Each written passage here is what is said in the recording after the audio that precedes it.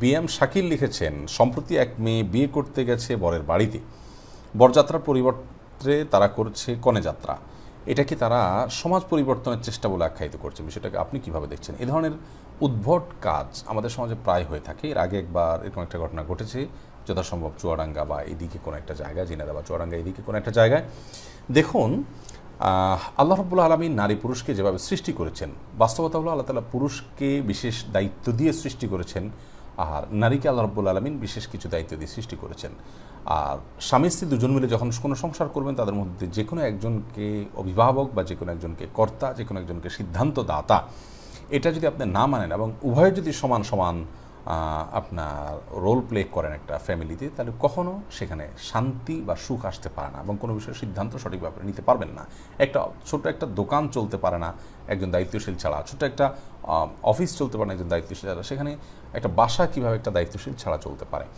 আর আল্লাহ রবুল আলমিন পুরুষকে এমনভাবে সৃষ্টি করেছেন যে তিনি কিছু দায়িত্ব তিনি পালন করতে সক্ষম, আর নারীকে এমনভাবে সৃষ্টি করেছেন, তারা কিছু দায়িত্ব পালন করতে সক্ষম। হ্যাঁ বিচ্ছিন্ন ঘটনা এমন হতে পারে যে কোনো জায়গায় নারীর চাইতে পুরুষ অদক্ষ, পুরুষের চাইতে নারী অনেক বেশি দক্ষযোগ্য। এটা বিচ্ছিন্ন হতে পারে, কিন্তু সাধারণ চিত্রটা কিন্তু এরকম নয়। আল্লাহ তালা সৃষ্টি করেছেন নারী পুরুষের যে দৈহিক কাঠামো রেখেছেন এখানে আল্লাহ তালা অনেকগুলো বার্তা আমাদেরকে দিয়ে রেখেছেন যে কে কোথায় কাজ করবে, তার কাজের ক্ষেত্র কি হবে, তার দক্ষতার দিকগুলো কি হবে, কার জন্য কোন উপযোগিতা রেখেছেন? আল্লাহ তালা এগুলো সবগুলো আমাদের এই শারীরিক কাঠামোর মধ্যেও কিন্তু দিয়ে রেখেছেন। বিধায় এগুলোকে উল্টে দিয়ে আপনি কিছু একটা করে ফেলবেন সমাজে। এগুলো হাস্যকর এবং উদ্ভট কাজ। পৃথিবীতে কেউ পারেনি। আমরা যারা এখন দেখছি, আজকাল এরকম করছে, তারাও কেউ পারবেন না। বিধায় এ ধরনের হেয়ালিপনা বা এ ধরনের হাস্যকর কর্মকাণ্ড যারা করছেন, তাদেরকে আমরা বলব, আসুন আল্লাহ রব্বুল আলমিন আমাদেরকে যেভাবে চলতে নির্দেশ করেছেন, আমরা সেভাবে যদি চলি এবং সমাজটাকে যদি চালাতে পারি, তাহলে ইনশাআল্লাহ আমরা সাম্যের পথে, ঐক্যের পথে, ইনসাফের পথে, সৌন্দর্যের পথে এবং যৌক্তিকতার পথে আমরা হাঁটতে পারব, চলতে পারব। এর মাধ্যমে সমাজে ভালো কিছু বয়ে আসবে। আর আদারওয়াইজ এই সমস্ত কাজ করে কাজের কাজ কিছুই হবে না। পশ্চিমারা বহু চেষ্টা করেছে, তাদের সংসারগুলো, পরিবারগুলো ভেঙে খান খান হয়ে গেছে। তারা এখন মিস করছে তাদের সে ঐতিহ্যকে যেটা তারা ধ্বংস করে ফেলেছে। তাদের অনেক, আপনার সেলিব্রিটিদের মুখে, তাদের অনেক কর্তা ব্যক্তিদের মুখে, মুসলমানদের পরিবার ব্যবস্থার, মুসলমানদের সমাজ ব্যবস্থার প্রশংসা শুনতে পাওয়া যায়।